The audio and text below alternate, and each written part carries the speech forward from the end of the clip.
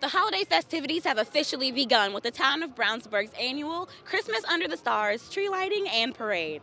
The community has come together to watch this annual parade and will later end up at Town Hall to light the Christmas tree and meet with Santa. Every year, the town of Brownsburg comes out to enjoy the festivities of the Christmas Under the Stars event.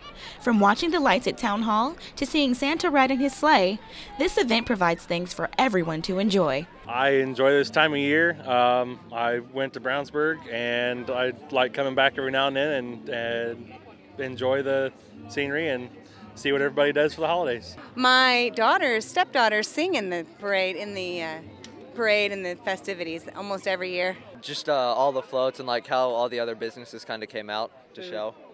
The most anticipated part of the night was a performance from Brownsburg High School's award winning show choir, Starlight Voices.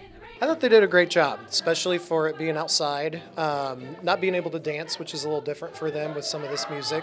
So, kind of being put on the spot outside of their normal comfort zone, I thought they did great. Looks like this year's Christmas Under the Stars parade and tree lighting got off to a great start. The community came together, got some candy, spoke with Santa, and had a great kickoff to their holiday season. Happy holidays. I'm Jamiyah Thomas, BHS TV.